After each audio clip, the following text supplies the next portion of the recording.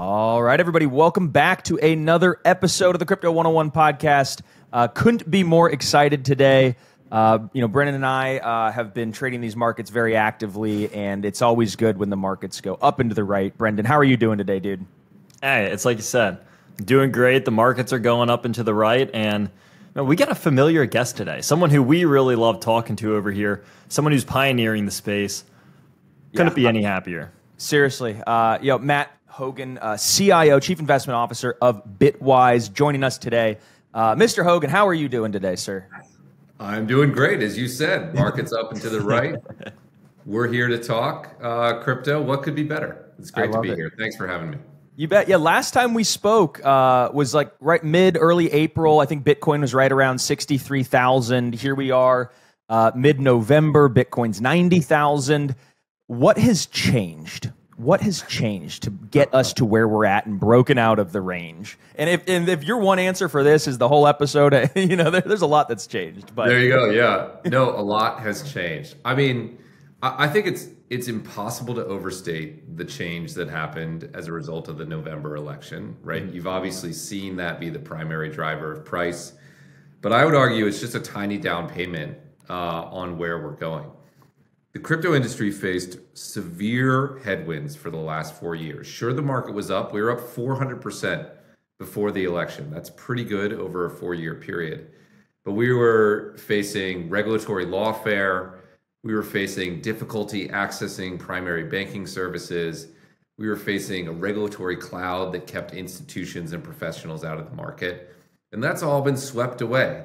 Now, all those headwinds have become tailwinds. We have a hmm. pro crypto White House, a pro crypto Congress. We're going to get pro crypto administrators at the SEC. The US might buy a million Bitcoin. You know, I hmm. mentioned we have a government agency named after a meme coin. I mean, it's it's sort of wild to think the change that we've gone through. And I really think the move, as exciting as it's been from 63 to 90, is just a down payment on where we're going. I love it. I, I think you're exactly right. It's just uh, early innings still because now we have, uh, you know, nation state sort of game theory starting to play out when you have uh, these, you know, these conversations and, and you know, Senator Lummis proposing uh, this Bitcoin strategic reserve, and all these other countries are going to want to front run the U.S. Gov, right? And they're going to say, well, if they're going to do it, or if they're even thinking about it, there's going to be other countries that are bigger that are going to be doing it. So we already see maybe half a dozen uh, countries already starting to accumulate with their central banks. I know Bhutan and, and some countries in Africa are doing this.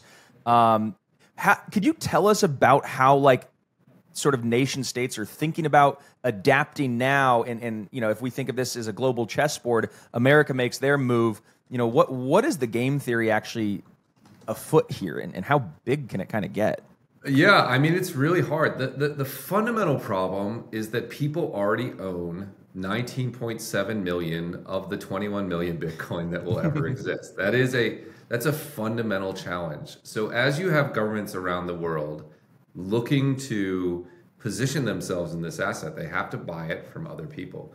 And we we sort of do have a proxy for what this looks like, right? Uh, governments own 20 to 25 percent of the gold that exists around the world. So if we assume that we're going to get to that stage of maturity, governments have to own four or five million Bitcoin. Where are they going to get them from? Right? We won't mine the next million Bitcoin for another hundred years. So they have to find four or five million Bitcoin from existing holders. And the only way that happens if the price goes up dramatically. I just don't see any other way for that to play out. Now, it's possible that this global game theory won't happen. It's possible that everyone will sort of collectively agree not to do this. The problem is, it's a classic tragedy of the commons for uh, these global governments. Like, from maintaining their own individual fiat currencies, they're probably all better if no one allocates to Bitcoin. But if you're the first mover and then other people do, the advantage is so massive to you that I think it's going to force everyone uh, to do it. So I think we're going to see, you know, potentially an arms race to get exposure to this asset. And again, there's just nowhere to get it from, right? There's just no more Bitcoin, and I think that's a real challenge. Yeah, you know, this is a point that I was talking to Galaxy and uh, WisdomTree about last week, and they brought it up to me and they said, "Hey, if if we get a Bitcoin strategic reserve, if that's really going to happen, you have to think about the domino effect that comes along with that because it wouldn't just be the United States adopting a Bitcoin reserve and everyone else just goes, okay, nothing's going to change. You know, every other country would start to see Bitcoin as an asset. They would need to be holding it. It would kind of solidify its place. And then you'd have countries all over the world that would be essentially almost forced to have some sort of Bitcoin adoption or some sort of Bitcoin reserve, maybe bigger, maybe less. And you know, we've already started to see BRICS talk about this.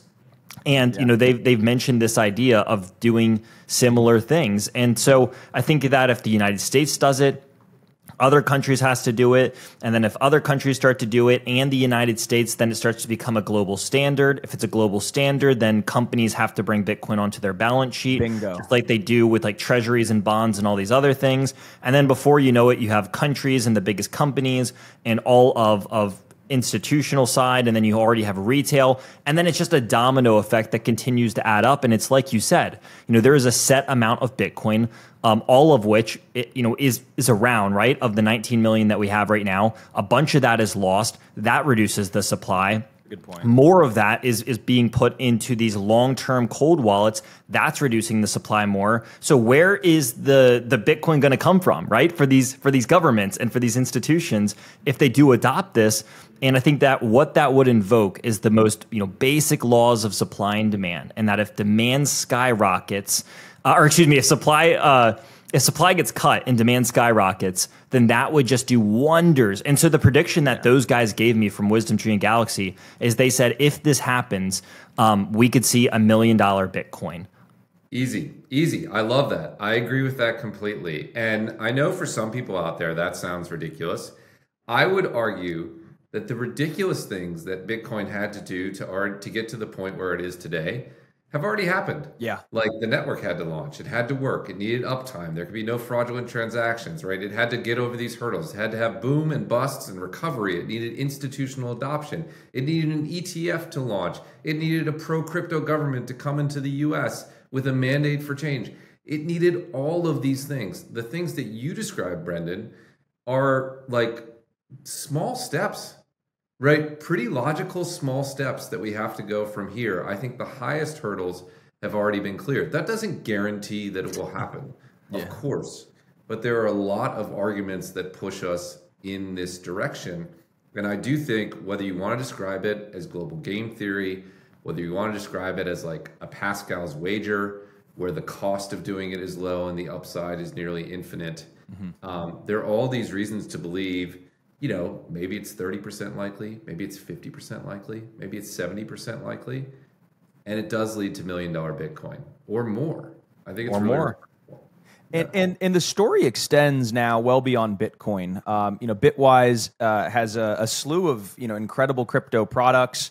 Um, you know, we could talk in depth about each one, but but it's now extended beyond Bitcoin. Um, and we see Ethereum, Solana, and the, the whole other sort of uh, cohort of cryptos. Um, do, do you think that institutions are warming up to not just Bitcoin? Like Bitcoin's got its uh, its place. We all think you know that's that's pretty secure. We we know that the the trajectory of this. We kind of know the idea is digital gold. But do you think that the institutions um, and, and, you know you could kind of cut the institution several different ways. There's the banks and the wirehouses. There's the the hedge funds. There's um, the pensions and stuff. But do they start to uh, see the future now, maybe in light of this new administration, that there is going to be a world in which these decentralized markets like um, start to proliferate? Absolutely. The, the same exact change that we're all discussing about Bitcoin, from it going from a renegade idea to something mainstream that's being held by institutional investors and central governments, the same change is taking place on programmable blockchains. The same change is taking place with DeFi, with stablecoins, with tokenization. Those were all sort of ideas, but traditional finance was completely excluded from them or worried about sticking their finger in the water three months ago. Now, all that's being removed. You're even seeing things. There's a little known new, little followed news story last week, but BlackRock, which already has a tokenized money market fund on Ethereum, expanded it to five additional blockchains including one blockchain that the SEC has labeled as security. if that's not a sign to me that the hmm. that BlackRock, the largest institution in the world, thinks that this is going mainstream, thinks that these programmable blockchains are moving into the light and that it's sort of where this market is headed, I don't know what is. So, yeah, I'm very excited about Bitcoin as a monetary asset. I think it has a great story. I'm very excited about this programmable blockchain space. I think it's harder in the programmable blockchain space as an investor to pick the winners. Is it Ethereum? Is it Solana? Is it Sui? Is it Monad? Is it Layer Twos? Is it Near? Is it Aptos? That's that's like really complex. There's much more dynamic competition. But will the space grow? Will tokenization take place? Will um, you know stable coins grow? I think absolutely. We're making a step function change there, just like we did on Bitcoin. Entirely. Um, and you know, there's a there's a question that was asked. I saw you speak in person uh, at the Ties event. I think it was called the Bridge. It was in New York uh, a few weeks. That you were there, right? Yep. Yeah. Yeah. I was gonna say I remember seeing you, um, and I forget if it was on your panel or somebody else's panel, but there was kind of a, an interesting little debate uh, about crypto. You know, is it an asset class? And I remember there's a guy Jeff Dorman who was like, you know, definitely who runs Arca was like, crypto's not a new asset class. Like everything is going to become digitized and cryptoized. Um, and so you you know you're going to have tokenization, and so it's like not a new asset class. But I was like, but like Dogecoin, like that's an inherently native digital asset. Like that's a new kind of asset class. Bitcoin's a new kind of asset class. So I think blockchains enable new asset classes, like with these digitally native things, but they're also going to enable other kinds of asset classes to become tokens. And so, how do you kind of pair these two in your mind? yeah, well, it's a great question. You know, one, one challenge we have in crypto is that we're always trying to fit things into binary boxes. It's a risk asset, it's a risk off asset. It's a new asset class, it's just a technology. Um, it's a currency, it's a technology. We're trying to do this forced separation. Mm. And the reality, of course, is somewhere in the middle, as an example. I think crypto has a new asset class like characteristics right now because the return profile for crypto broadly is very distinct from the return profile for stocks, for bonds, for gold, and for real estate. Right? If you just think about what's driving crypto right now, we're talking about this change in the administration. We're talking about debt and deficits. We're talking about blockchain technology advancing.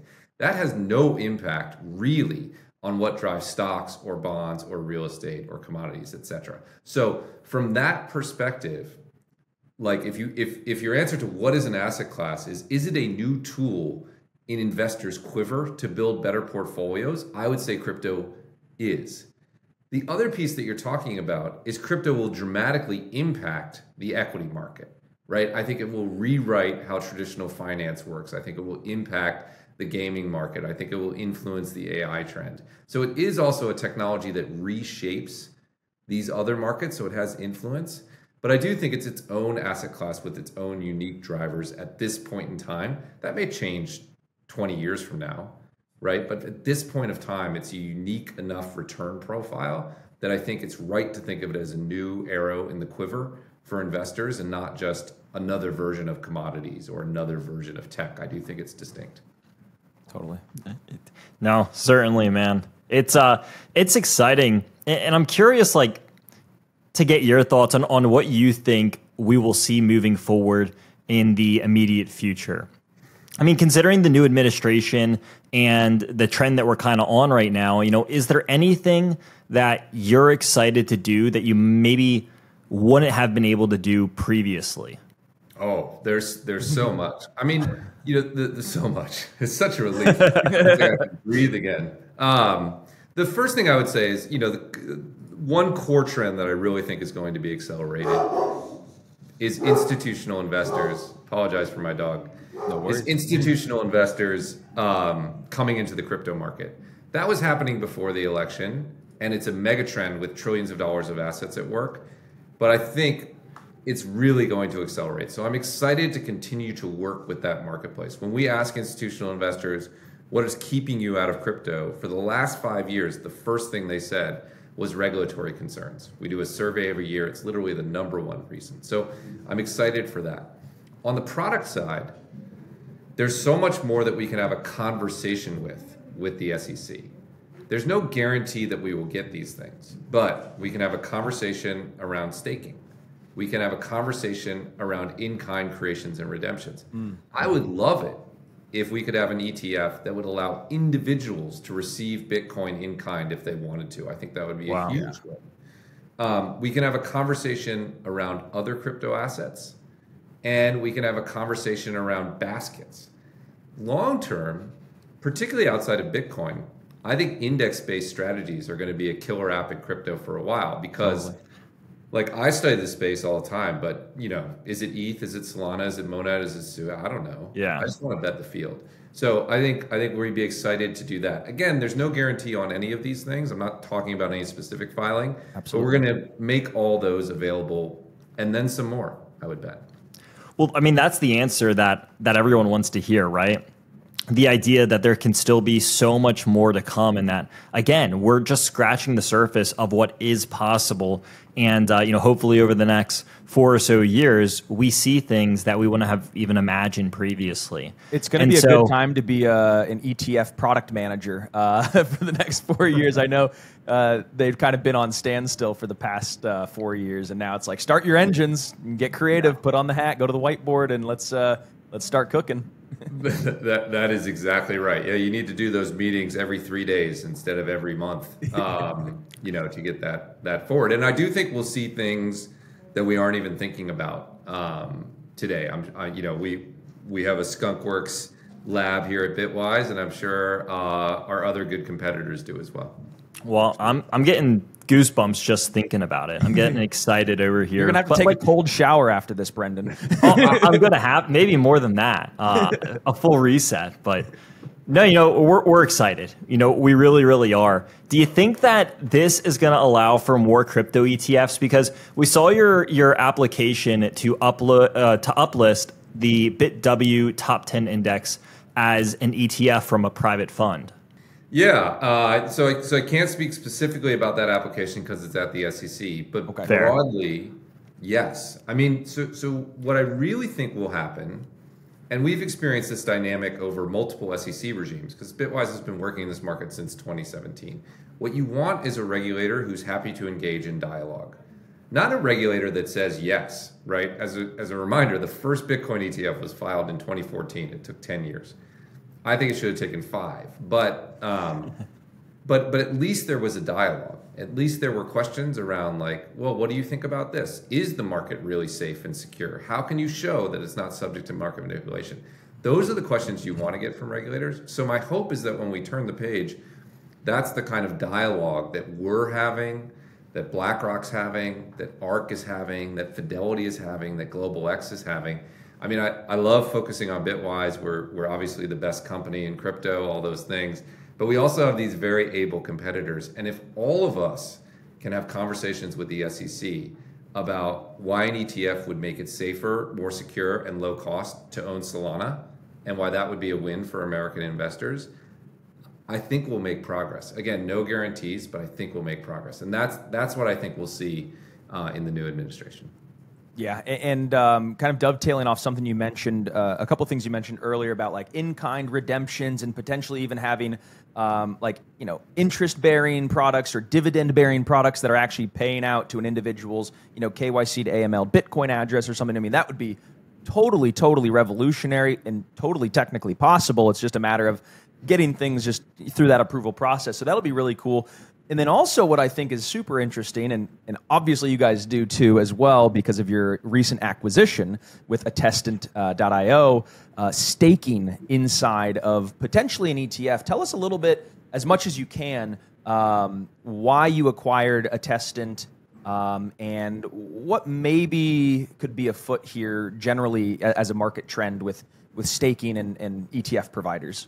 Yeah, I can even go bigger picture than that. So, so for people who don't know, Attestant is a leading institutional staking provider uh, in the Ethereum ecosystem. Uh, they're well respected in that space. They, they, they stake about 4 billion, 3, 4 billion in assets for a set of institutional investors. If you want to take a 30,000 foot view, there's this idea that um, sort of financial management is two things it's on chain and off chain, it's TradFi and crypto.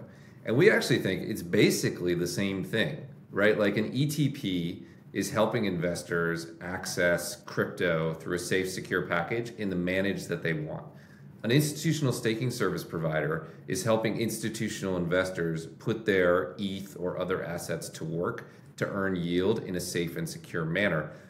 Those are very similar businesses, right? So Bitwise on-chain solutions, which is what we call uh, the, the group that, that is now attestant, wants to expand in on-chain solutions for investors in the same way we're expanding in off-chain solutions for investors. And then, as you're hinting, they come together, right? So ETF investors probably want to stake their spot ETH and probably want to, in the future, maybe stake Bitcoin or do other things. We want to be at the forefront of that. But I do think I do think this acquisition speaks to something that's going to be a theme over the next four years, which is that these two markets are coming together. They're not as separate as people think, um, and and I think it's a good example of that happening.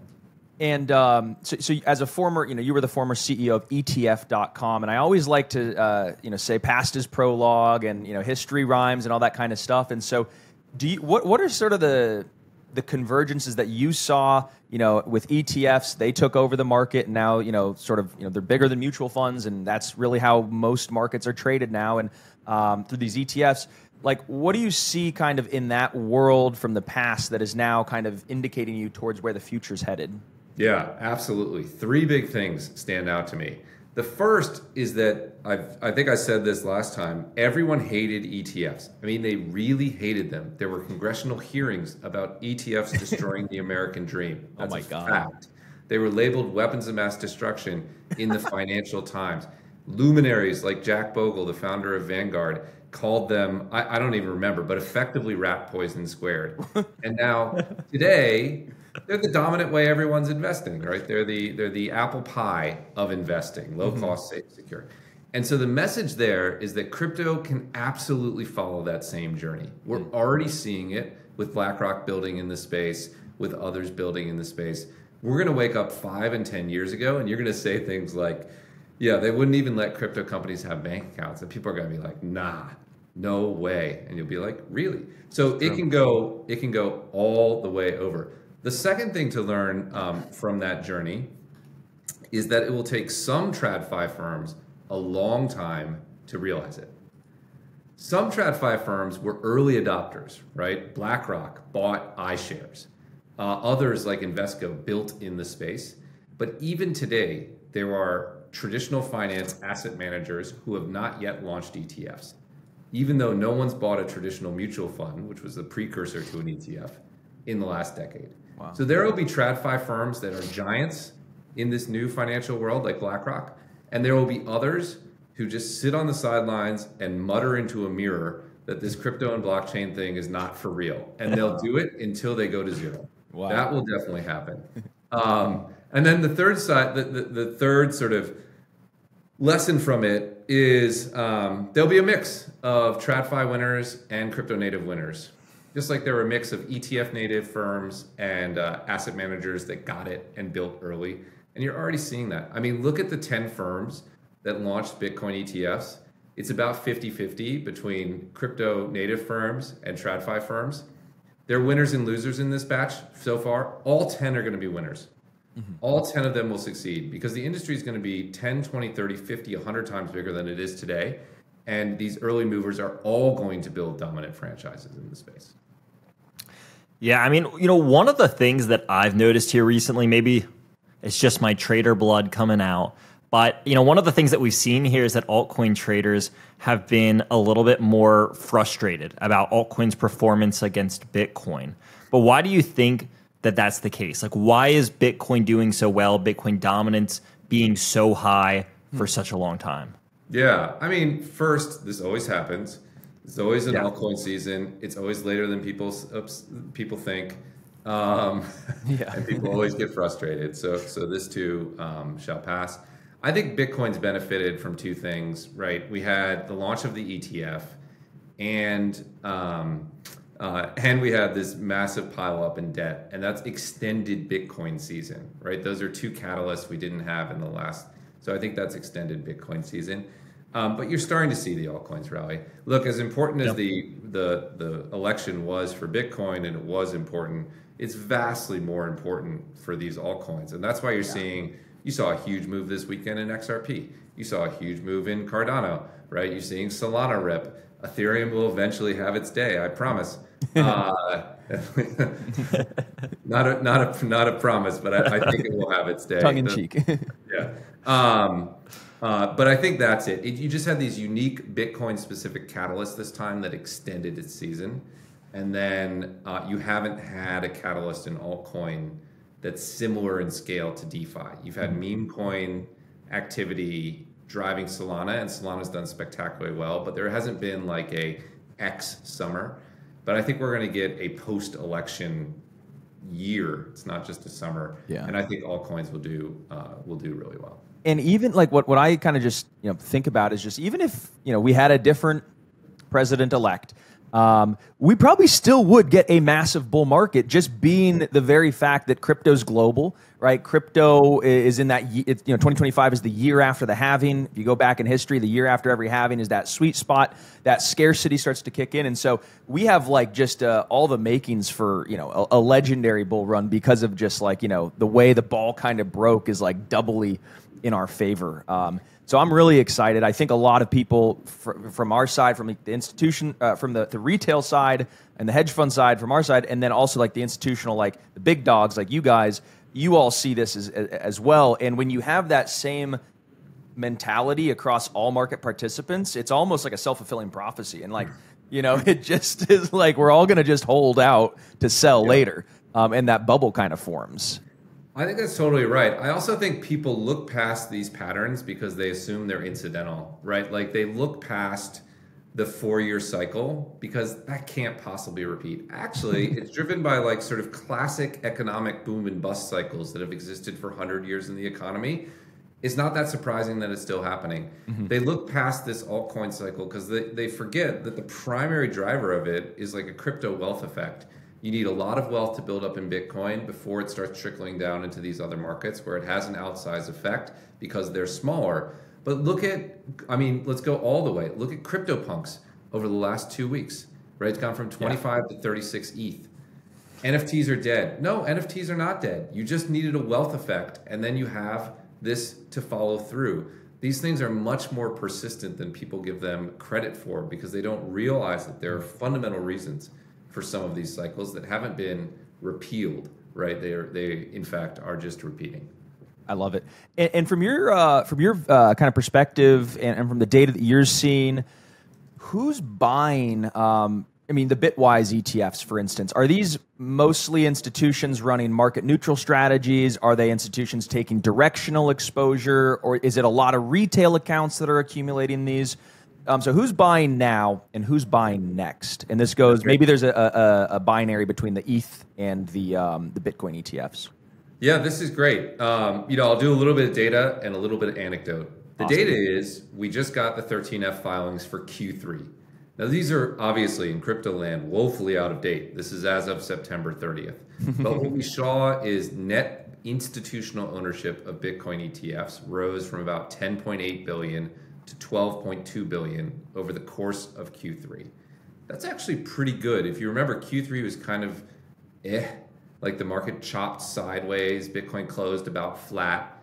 Institutions didn't flee this market, but they didn't, you know, ape in either. They still owned about 20% of the Bitcoin market, uh, ETF market. So the answer to your question is at least through Q3, it was 80% retail, 20% institutional. Within institutional, it's about two thirds long only and one third market neutral. Hmm. That's sort of the answer.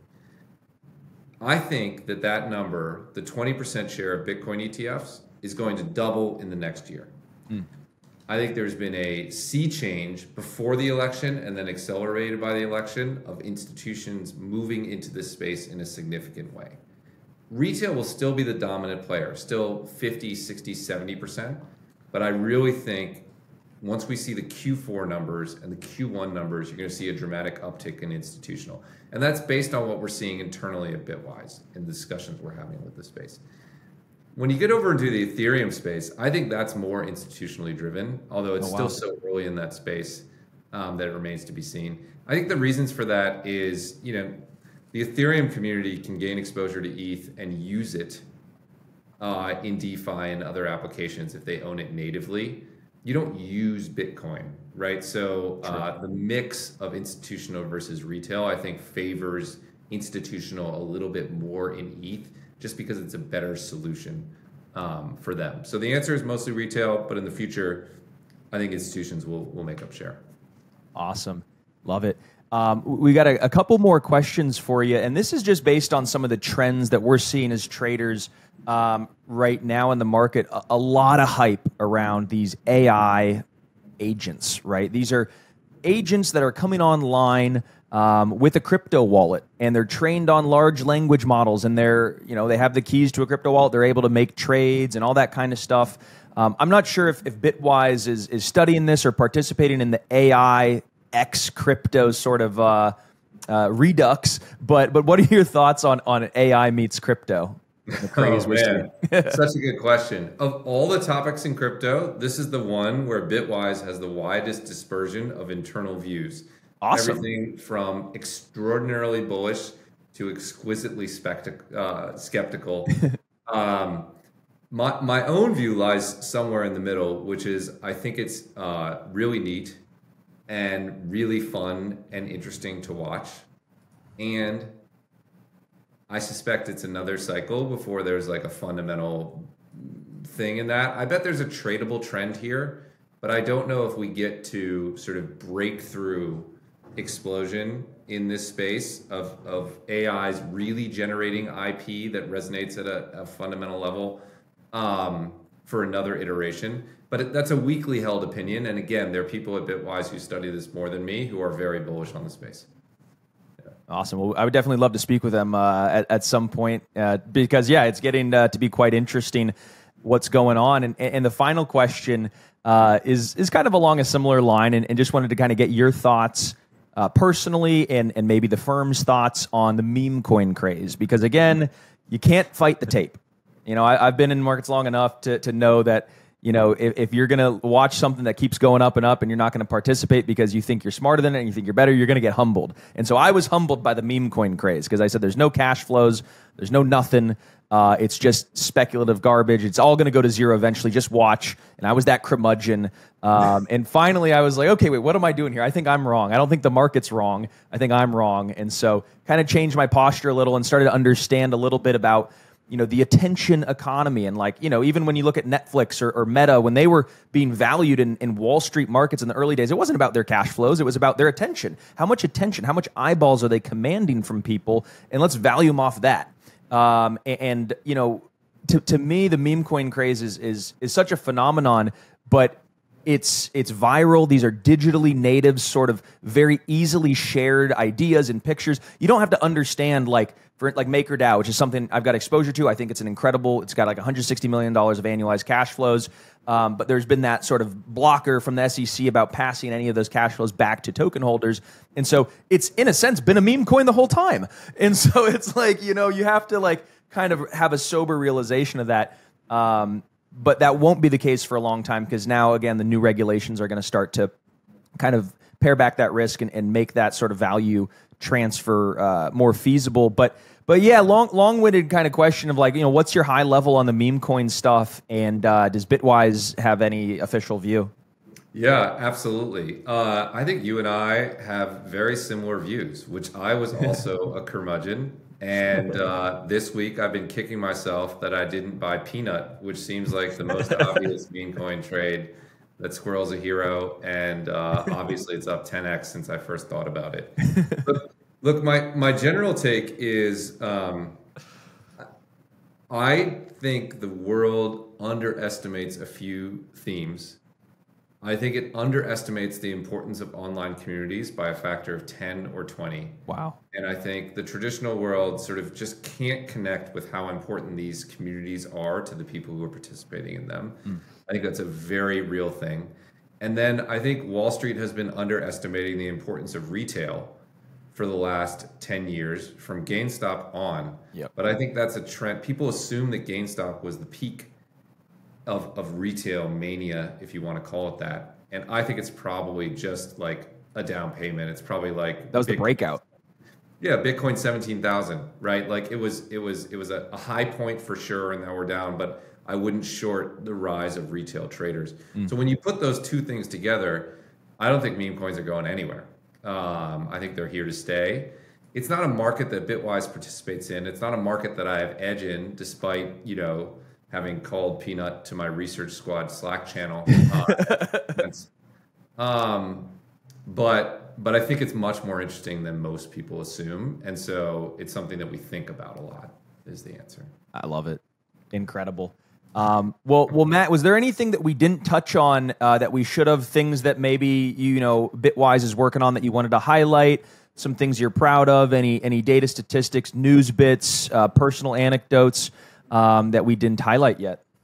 No, I mean, I just congrats to everyone who was focused on this space before the election. Yeah. Um, you know, it was it was a challenging period for crypto, and a lot of people stayed at it. And now now you're being rewarded, um, which is great. And then the other thing I would just say is, I do think the the future could be wild. I mean, you know, in the past week, we had the Bitcoin bill with the U.S. potentially buying a million Bitcoin. We had 18 state attorney generals suing the SEC Yeah. um, you know, more can happen than maybe you think. And uh, I think that's a, something important to keep in mind as we approach 2025. and it could even happen quicker than you think too. Um, I- yeah, even one of the things I don't even know if we talked about this yet um, was the Bitcoin options that might even be listed as soon as you know this month, this year, and people were thinking this was going to you know be drawn out forever.